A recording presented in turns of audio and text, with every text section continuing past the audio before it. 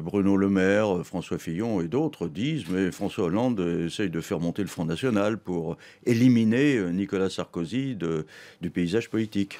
Je pense que c'est une querelle indigne. Le Front National monte par lui-même. Il ne monte pas parce que tel ou tel parti pourrait le faire monter, mais parce qu'il chevauche euh, la peur aujourd'hui et euh, la situation euh, suite aux réfugiés et aux migrants.